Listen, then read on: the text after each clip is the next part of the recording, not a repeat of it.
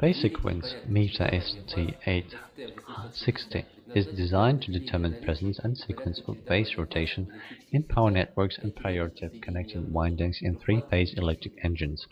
Device is designed in a compact, lightweight housing.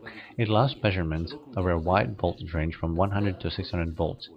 Housing is divided in two parts. The first part is phase sequence indicator and the second part is the winding tester in three-phase electric engines. There are three sockets in phase sequence indicator to connect test wires, three indicators to determine phase presence, and two indicators that indicate the phase rotation order.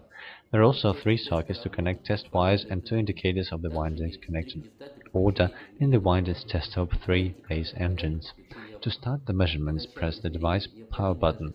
Supply package includes device ST860, test wires with crocodile clips, and a bag for storage and transportation.